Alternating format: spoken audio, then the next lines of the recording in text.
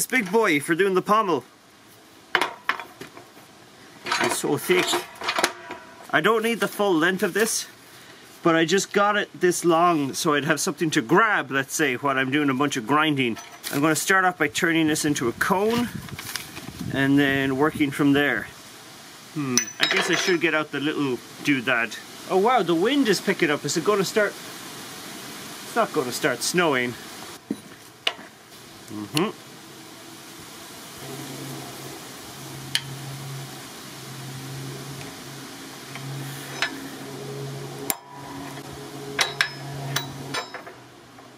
That looks actually deep enough. Actually, is it clear what I did here? Just in case it is not. So, see those, the mark is in the middle of all those lines there. I made it with this guy. Shloop. You know. And now, I want to mark, so two inches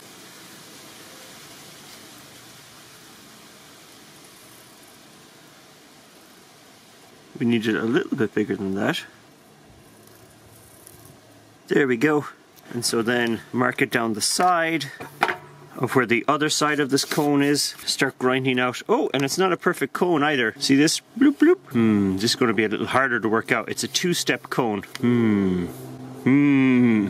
So I went inside and I drew these lines on top because of the curve of the pommel, which it'll be kind of weird anyway because I'm, I'm grinding all these ferrule groove type things into it anyway. But um, as you can see, it's, it's practically nothing. But I do have to make an adjustment up here where this circle is now too small. Bloop, if I grind directly to this. So because of the, can you see that little notch up top? It's actually a little bit bigger. Bloop, it's like tiny, but like it just means instead of being two inches, this guy at the top is like 54 millimeters instead of being 50 millimeters. So it's, it's just a little, little bit of thing. It looks like a much bigger difference when you do this. So we're grinding this first, this cone, and then we're making it the bottom half of it sharper. But the thing I realized, I should have drawn this in the Photoshop when I was doing the thing, not the Photoshop. They can go get wrecked. Infinity Photo is what I use nowadays. Did I say Infinity? Affinity. They're basically Photoshop, uh, but you know, one time buy and Actually, I should probably see whether or not they'll give me a sponsorship. Poor old Photoshop, making you pay money by getting a subscription service. 80. This block is 80 mil wide. So what I want is to mark the halfway point on this and come 40 mil out. And I want to see where this line intersects with it. Because I need, I need that measurement uh, down this is silly. I should have done this in the Affinity photo. Do you know what? I might still do that because this is this is just getting silly. 80 mil. We know that the, the, the round thing is 80 mil wide. So I printed out this guy, but the big mistake I made was I didn't leave a um,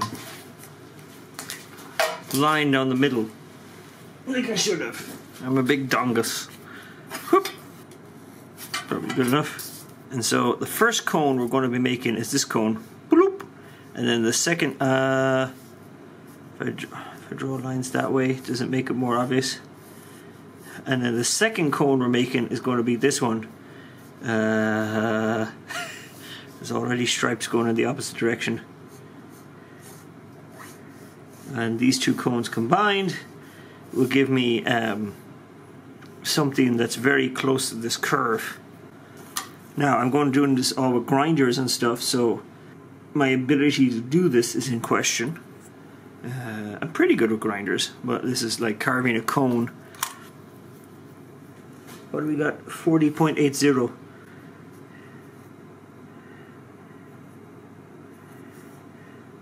Aha! It's 40. This was the thing we were trying to calculate. The bounding box I didn't print out. It's the reason uh, I had to go back inside and redo it because it's these two points line up at the 80 millimeters, the, the which is the width of this bad boy. See, I had this mark before going across here, but I didn't know uh, where this line actually comes through here, and that was the thing. And so when I have this carved, I can mark another line uh, down to the 29, 29-ish millimeters to this point, and then carve this second one. Actually, that'll be feck all grinding, because I'll be just if I've already ground this lot off, which is a huge amount. The second cone will just be grinding this off, which is basically nothing, you know?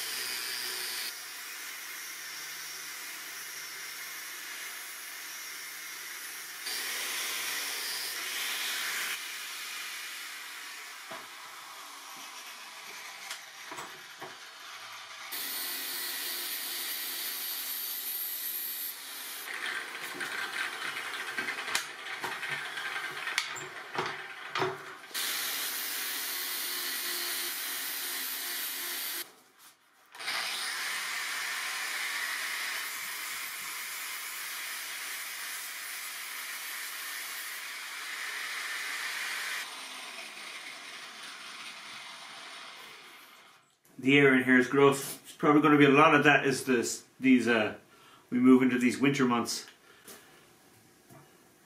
Now, that thing is so hot. I wanted to grind out this extra little. Um, probably can't see the mark. It's at like here where my fingernail is. Yo, but it's too hot to mark. I need to mark a line here ish, and I can't mark that line while the stuff is so hot. So I'm going to leave it and do tomorrow because I am also tired. But that actually didn't take as long as I thought it might. So we're doing good. So I very carefully adjusted these guys to be 29 millimeters down from the line. And so hopefully I'll be able to very carefully. The proof will be in the pudding if the line actually matches up by the time I get to the other side. And it does. But that was a bit of a pain to set up.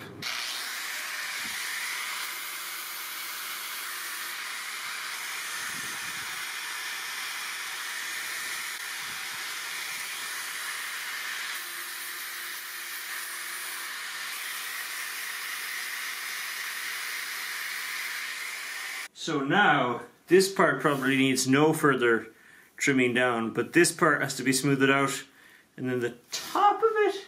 Oh, actually no, what happens at the top is it gets brought into the inner ring. Oh wow, that looks like quite a lot. So that's what I'm going to do now.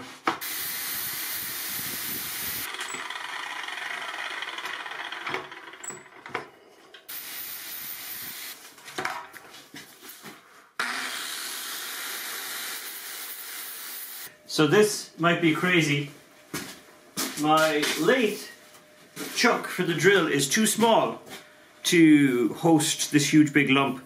But the plate screwed off the back of it gloop, gloop, is the exact same diameter um, within a half millimeter of the big lump. So I'm going to see what happens if I just tack weld this plate onto uh, this guy directly.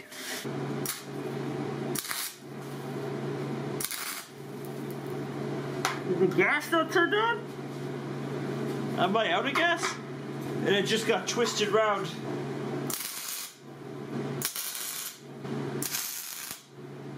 Okay.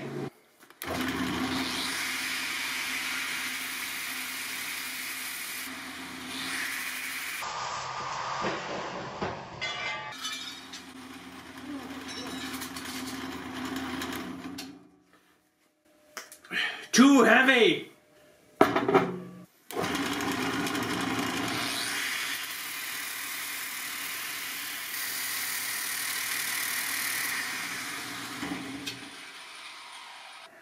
Okay, so that I think is smooth enough now for me to start drawing the lines. I'm not going to smooth this guy off as I would normally if this was the finished thing because it gets these all these grooves carved in it so there's not much point. This is just to get this like angle here. It looks very subtle now that it's actually ground out. But that was quite a bit of doing. Whew.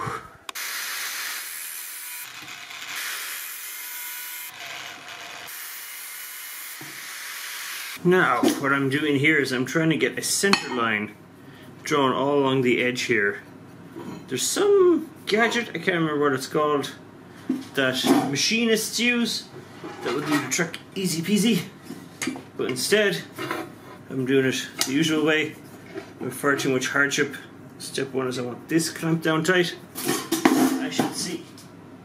That's clamped down that this this section back here is still a, a true cylinder.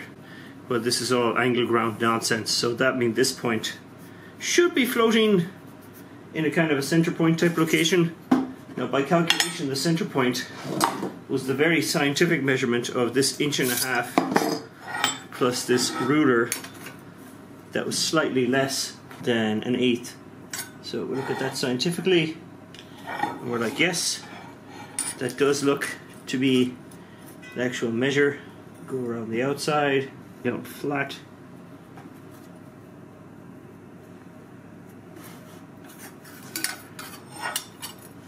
And now hopefully we have a halfway line.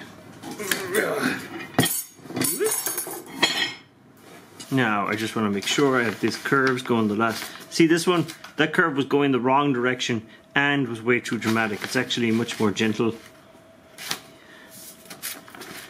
Yeah, that's correct. So we just kind of line up the lines. This is a flat piece of paper going onto this thing, so it's not like perfect, perfect by any means, but we're going to see can we get away with this.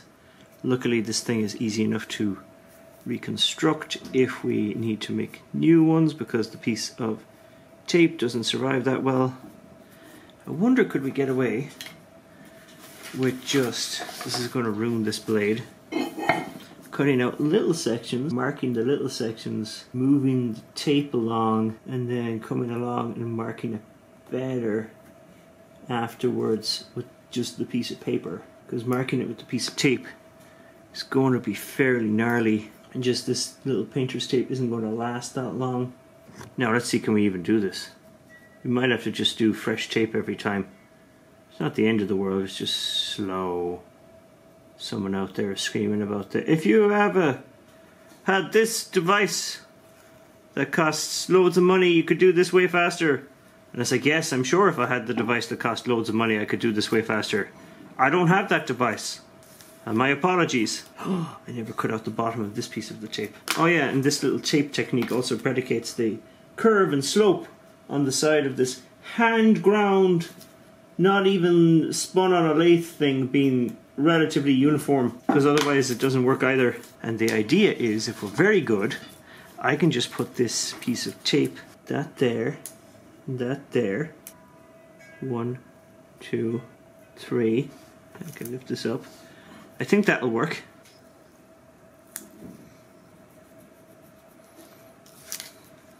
So there we go. I mean, it doesn't look, if you hold it up sideways, I think you can tell that this is narrower here than here, but you can see how that would be, it would be a physical impossibility for it to not be the case. The only thing I can think of is um, it was like like a texture, like a bitmap thing that was weirdly stretched over the surface or something. I don't know, man. Anyway, this is what I'm doing. I'm carving these in.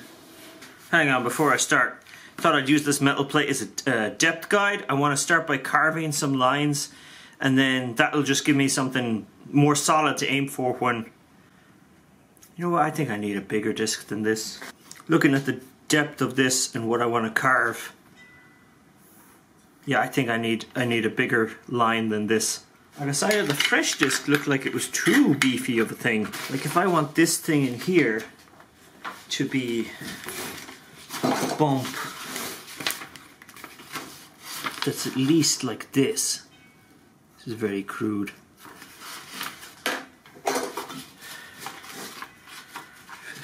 This bump here is, I didn't even measure the width the width of these guys is like this. And so if we want that, sorry guys, I thought, you know, you're all ready to go, and then you realize, no, you're not ready to go. God, it might be that fresh disc. Is the problem that I don't want that depth up here? That I think that depth up there will look silly? Maybe that's what's freaking me out. Six. Six. so I do want that depth here. Mm. It's making me nervous, but I guess I have to do it. And then I guess I'll just taper it off as it goes up. Oh boy.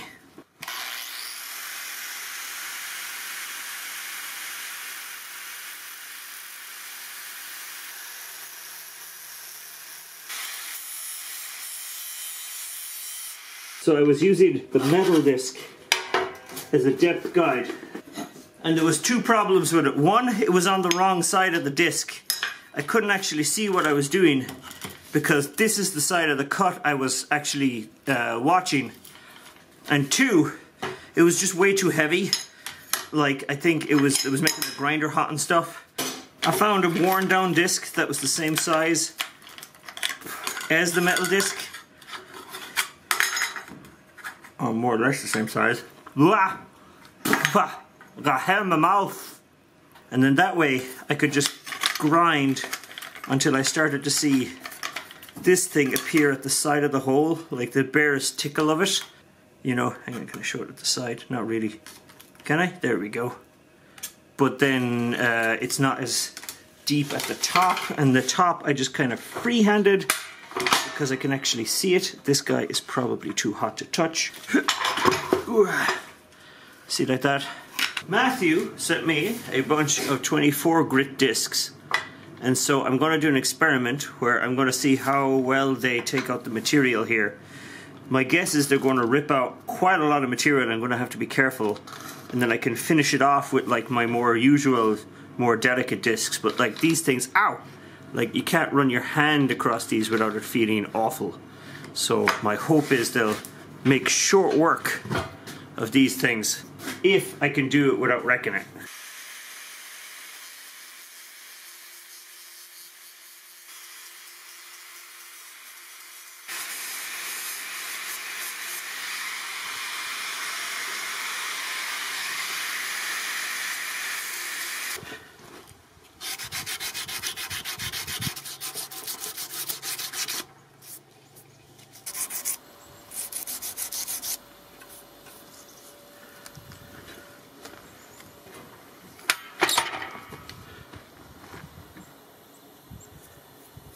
think that came out okay. You can see the mark where it gets cut off.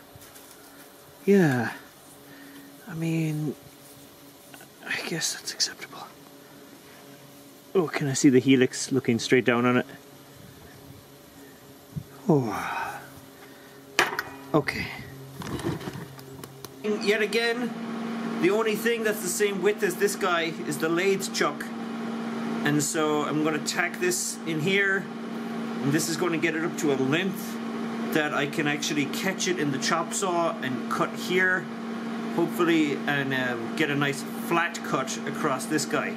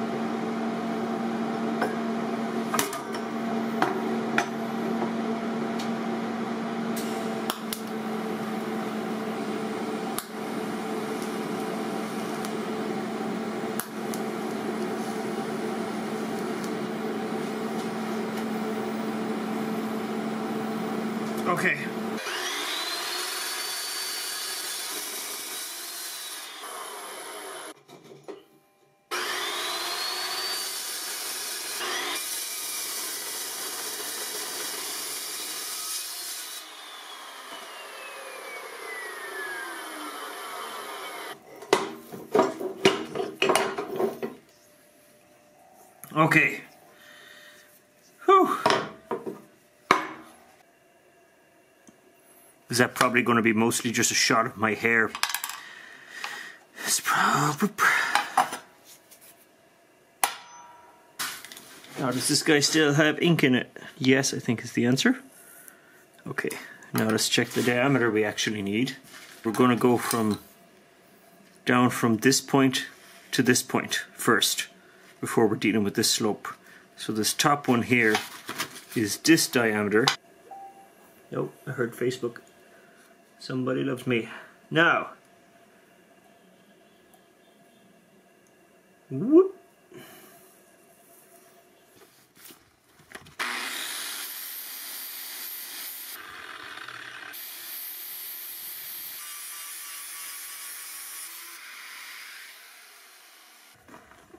Okay, here goes nothing.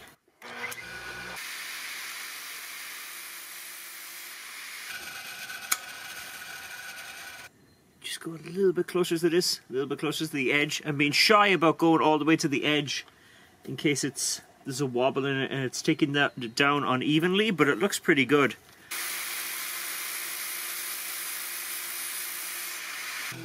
There's definitely a wobble in this guy.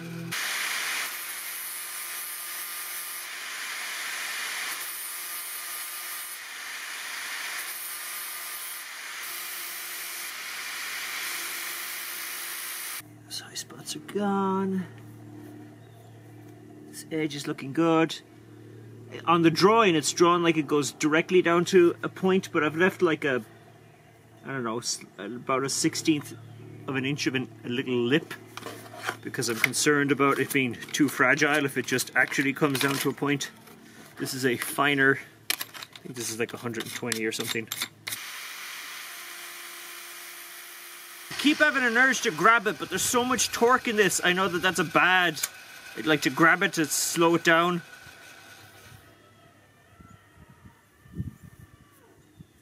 Maybe a little bit more, but that's basically it.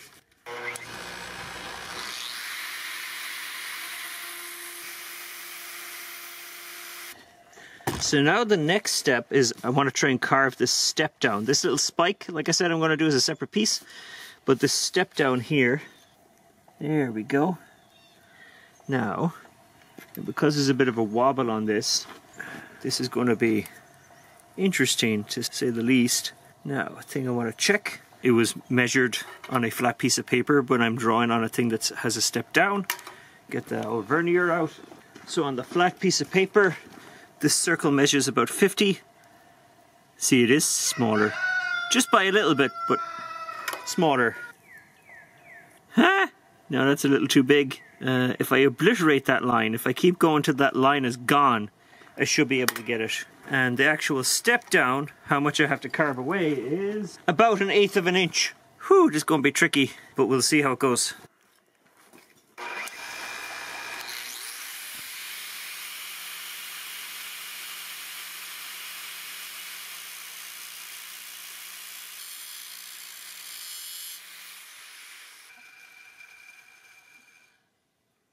It's hard to measure, but I think we're there.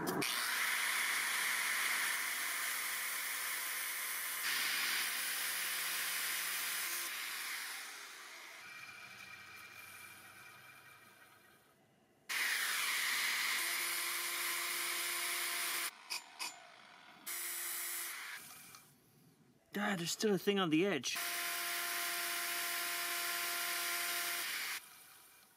See the stepped dome that I was trying to make for the uh. So there we go. Now I got to make the spike as well, but I got to hand sand this guy. I'm going to drag everything inside. Looks like it's really going to start to rain.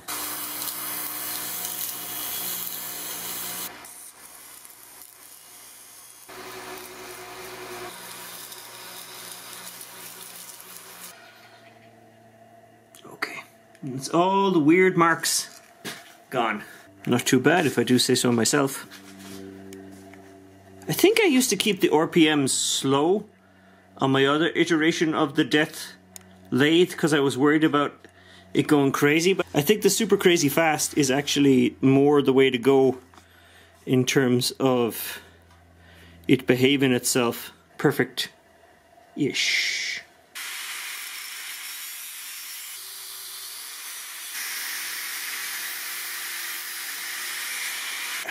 That's as much as I can get, and I can't get any more.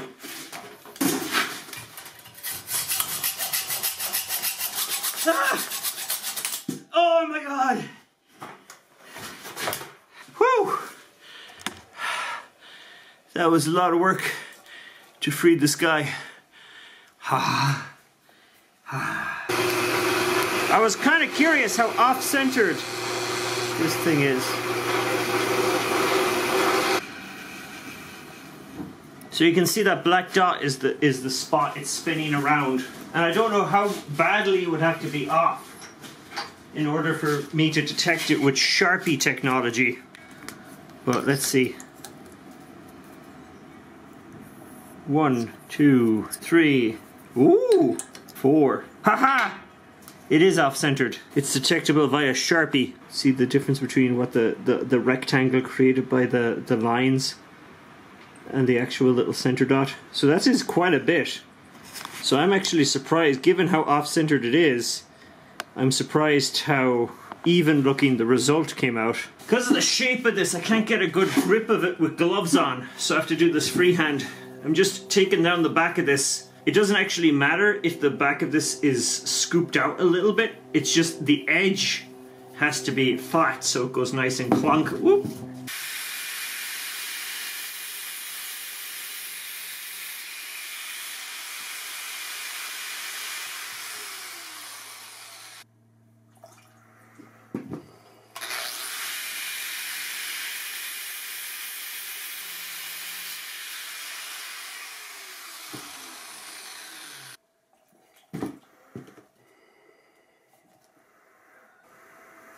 Cool.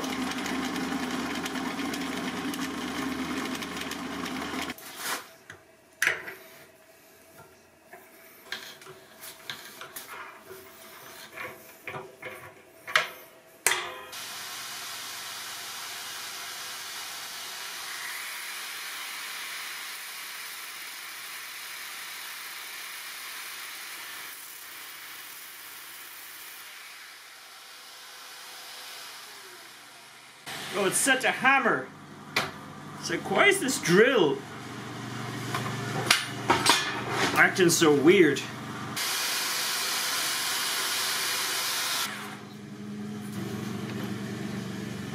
Yeah.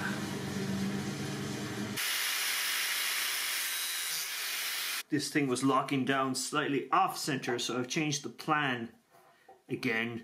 Plan change, number 6,000 bazillion.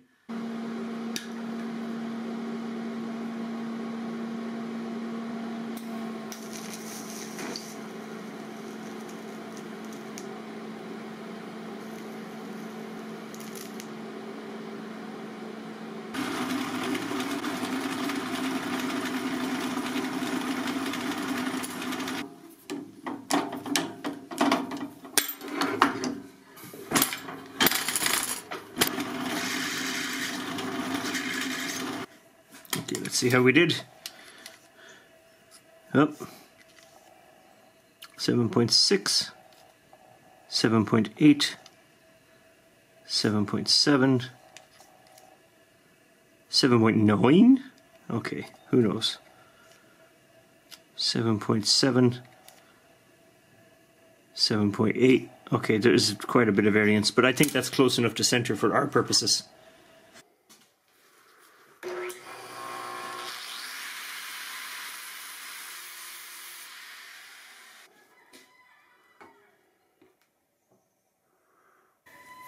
17, 7 sixteenths is a big size for a blind tap.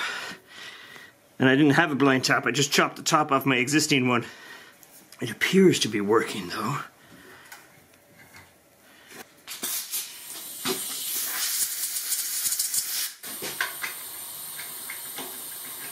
Seem good though, the hole holding this thing.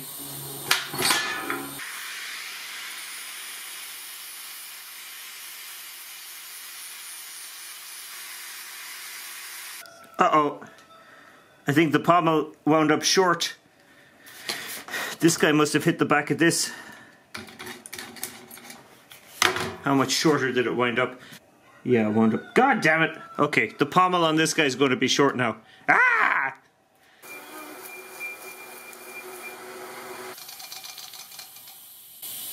It was actually annoying me too much. The the, the one that I accidentally shortened with that big heavy um, the the heavy grit um, sanding disc. Where's it gone? Here you go. Yeah, so I went and I remade uh, another one. So this thing was a bit late.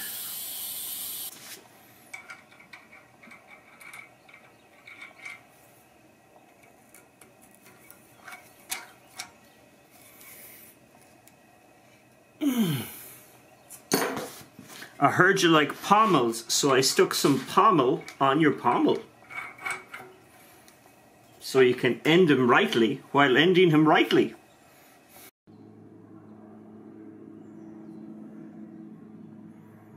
Death lathe.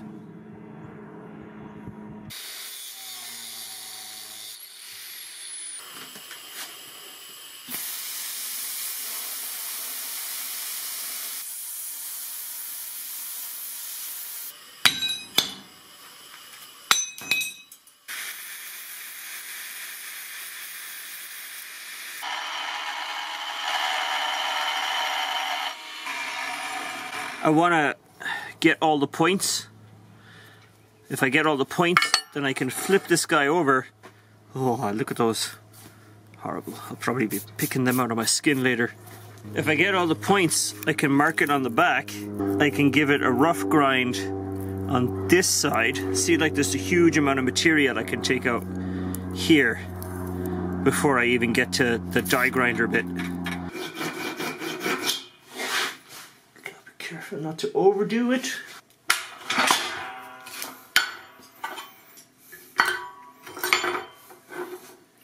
So that's these guys done. Move on to the next part. Oh, a fun thing I always like to do is because even though these were done separately, how closely do they match? The main difference is actually here at the back at this part that doesn't really matter. Oh wait, wait, wait, wait, wait. And there's a fairly big difference here too um, but that gets covered up by a weld. These things you think would be like have the most variance because of the way it was made. Come on, come on, behave. But the two, um, these spiky bits seem to be pretty similar. Okay, now, next bit. Oh, that's right, I forgot. I cut a piece off the other template because I realized it wasn't necessary. But this one still has the extra piece. Ah!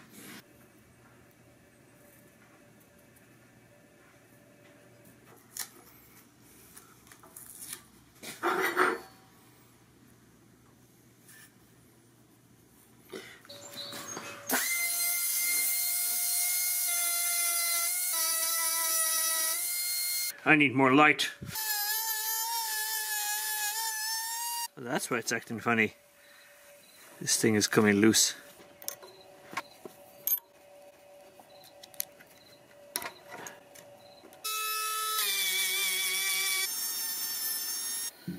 Mm, I don't want to make a mess, don't want to make a mess. I'll probably have to redo it. Whoa! God damn it! Can I do the other side while I'm here? Oh, is that rust? Well, we can't go over rust.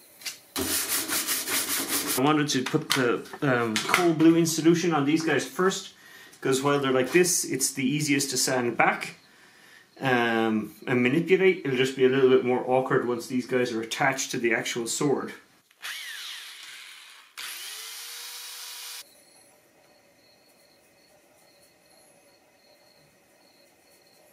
What's on this? There's something orange. Is it just rust? There's something on this paintbrush. was I using this? I think this is the paintbrush I was using on the big gay sword for doing the peroxide. So it's got like like basically loads of bits of rust on it. It shouldn't interfere with this stuff doing its thing. I hope.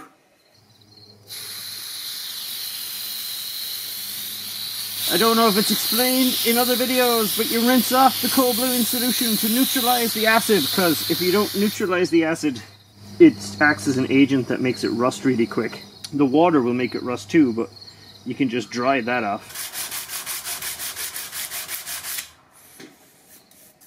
Ta-da! Now, because the way I cut these guys, because go like this, yeah, they go like this. I wanted to give them this curve because that will um, make the weld stronger and stuff. But that means I gotta draw a line and then cut.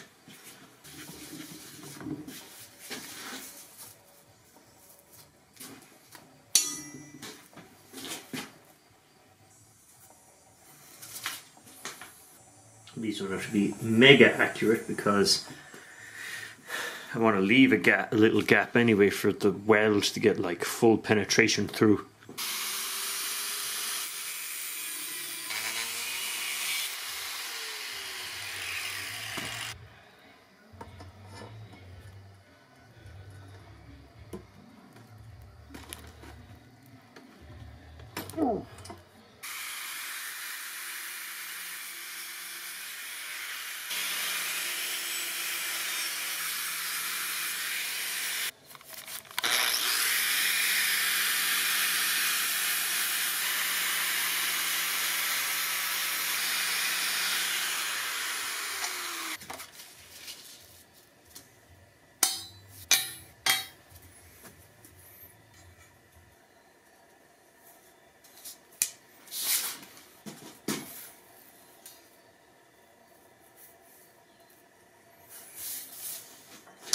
Oh, I was having a panic attack there because this template didn't fit on there. I was like, what's going on? And I realized that when I curved these plates, I made a slightly wider template. And I was like, oh, geez, that wasn't that much wider at all. But, like, it's super noticeable. I was kind of curious why there was two of these things. Is this one the correct width? Yeah, this one's the correct width. It didn't change that much. Because I remember I only really expanded the wings but I just wanted to draw this line for completeness sake. I don't even know is the camera yeah you can see that on the camera. But yeah look look at that. That was giving me a heart attack. I was like oh no. Have I made parts the wrong size? That's happened before. I think the most that's happened for was the Red Sonja sword. For whatever reason, we kept messing up um, because there was a two templates printed out. One was scaled to the person that the sword was intended for, and the other one was in uh, scaled to was it Brigitte Nielsen who played Red Sonja. So I'll, I'll, put a little thing at the bottom if, if I can't remember.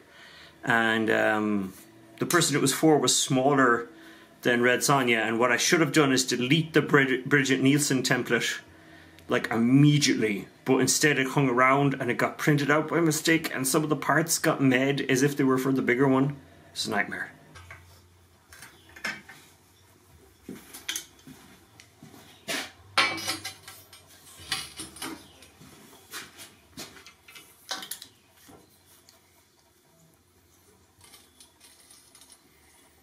One, two, four, seven point five. Is that catching on that? Oh, I don't like that. Just a little bit. One, two, four, seven point five. Mm, I don't like the fact that it's catching on this. Would I be able to do the next point if I turn it over here?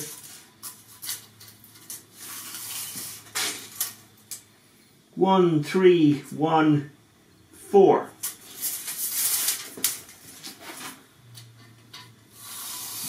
One, three, one, four, four point five. So this is predicated on the parts being made correctly with an angle grinder 81.90 81 so there's like a millimeter difference but this one here looks pointier than this one so I think we might have lost material rolling off this edge and the other measurements are okay. So I think we're going to go with that.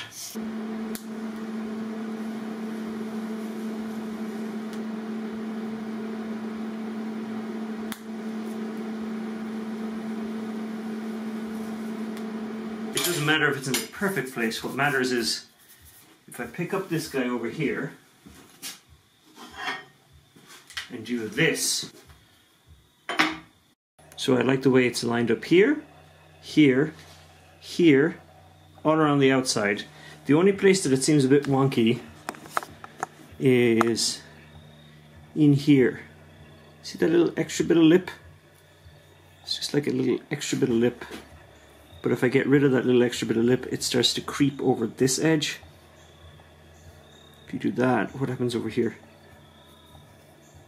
Oh, nothing much. Hang on. And then if we line up this, I'll need to draw here to see exactly how it's lined up. But I think that's good. Oh, the other thing to check is how these guys are disappearing. That might actually be more important, is the way this guy emerges from this edge.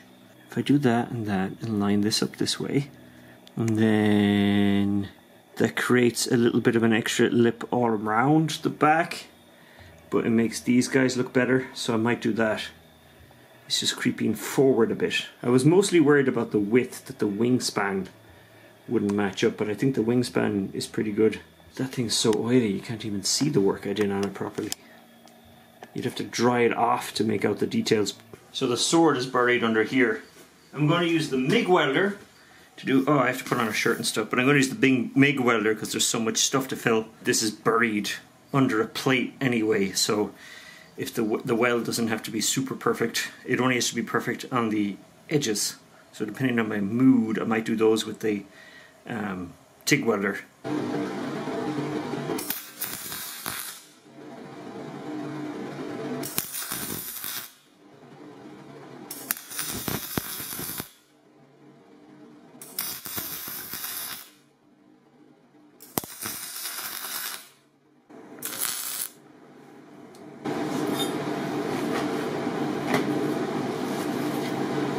Steel wire brush.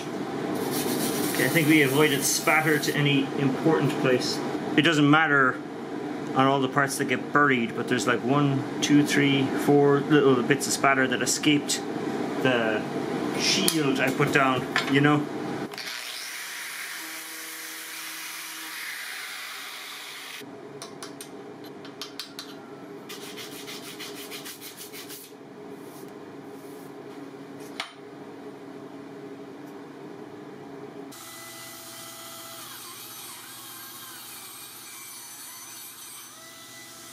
So I very painstakingly lined these guys up, clamped them down, and now I'm going to weld these guys on the back so that they stay lined up with each other um, when I try to position it on the sword.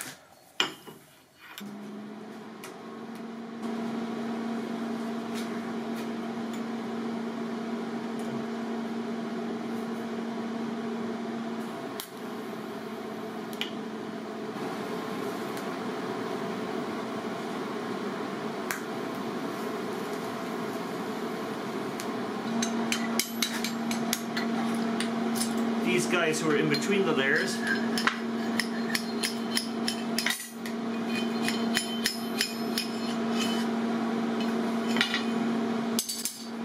And now have this guy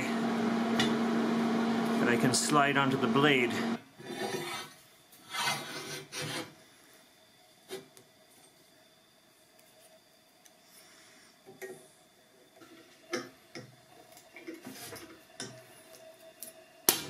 Ah, that didn't work. Okay, hopefully that's tight enough. I just need to make a mark through this point.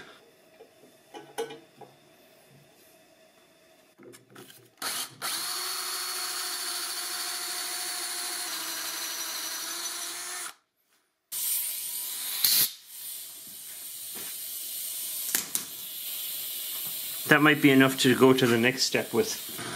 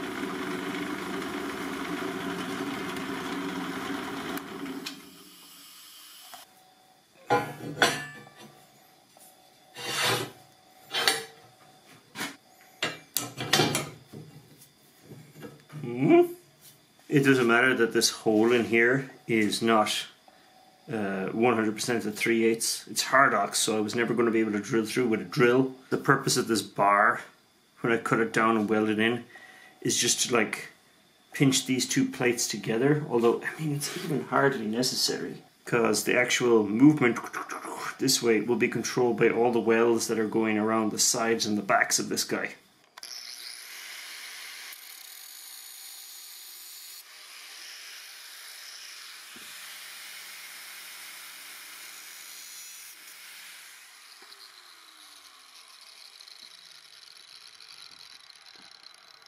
Bye.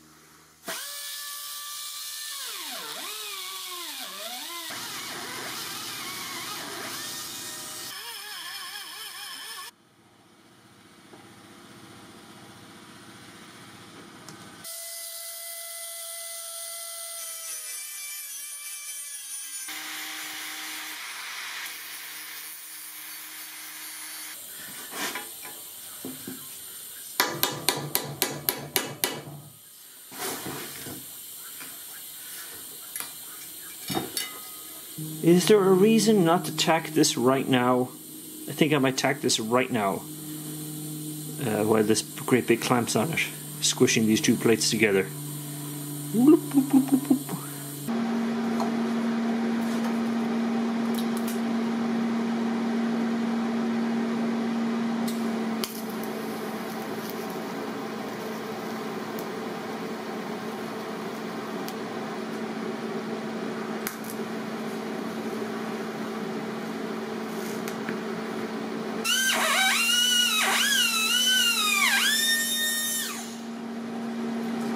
So hot that it's transferring the brass. I think it might need a little bit more here for this thing to be up to grade. Maybe I might just put a little bit, a little bit something in here just for safety, but a little bit here and a little bit here. Yeah, man. I don't have it. My stainless steel one of these finally gave up, so I just have these brass ones. I hope it doesn't infect the well, but it's such a thin coating, I can't imagine it will.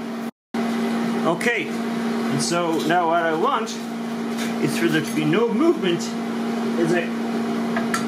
Okay, cool. There's no movement as I undo this. And now what I really want is to be able to adjust this guy left and right. I can't, that's not a great sign, but if I can just tap it with a hammer, that'll, that'll be fine. I was hoping to show you guys me tapping it with the hammer, but I thought I had it nearly in position, but I think it is in position, so I don't want to mess with it. So I was just going around and go tap, tap, tap, tap, tap, tap. I was trying to keep this point in the center line and then cover up the end of this, the, the pattern, the dragon swirly. I think I've done that, so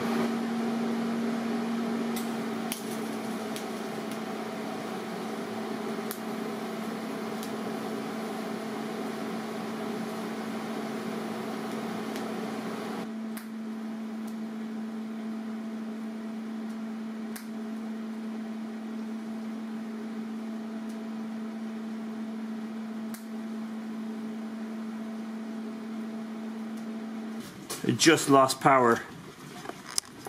It's not super great.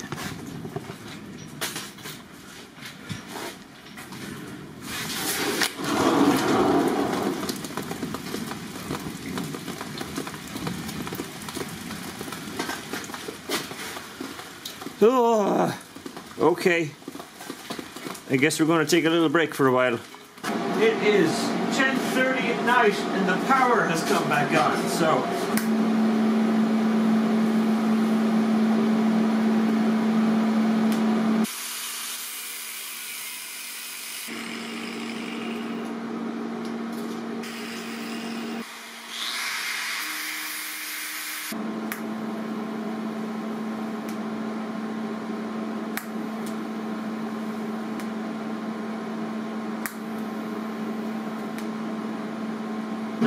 rest on. Might go for this one first.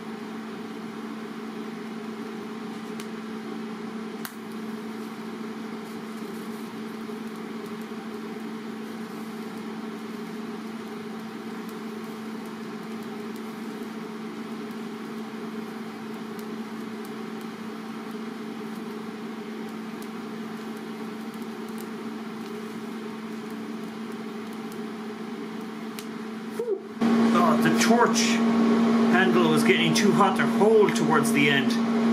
But I got these. I rarely get to do nice easy welds like these. It's always like weird curves and stuff. What can this thing see? Can it see even the thing I'm pointing at? Yeah. Like weird like you know. Oh no, moth, don't fly near this. You don't want to be near this. Abrupt cut to me standing here. There should be a box floating on a screen with a link to all the parts of this build that have already been uploaded. If not all of the parts are there, they'll be uploaded once a week until they are all there. Alternatively, if you become one of my Patreons, the full build video is there right now, including the explanation for why I've transitioned to a new workshop. If YouTube has changed its thing yet again, and there's no floating box on the screen with the playlist and so forth, there'll be links in the video description.